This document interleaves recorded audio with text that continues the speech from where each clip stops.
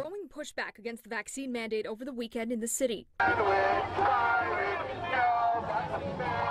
Hundreds marching straight up to the doors of the Barclays Center Sunday to show support for Brooklyn Nets star Kyrie Irving, currently benched for being unvaccinated. Wanted to let him know that people do stand up for him. Among Irving's supporters were two New York City teachers out of work for not complying with their mandate put in place earlier this month. People do believe in what he's what he's doing and, and what he believes in, and that we are encouraged by him and we want to give him a little encouragement as well. For somebody to try to mandate and force something into me that I don't do not want, it goes against every breath in my, in my being. And on Staten Island, hundreds rallied for police officers, firefighters, and sanitation workers who are not against the shot but against the mandate.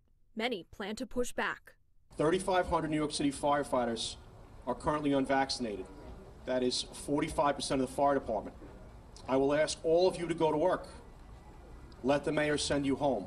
What happens will be on him. Make sure you understand the value of your work and make sure they feel the fact that they send you home.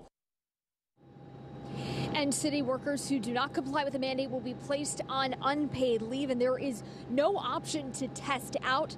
Today's march starts at 11:30.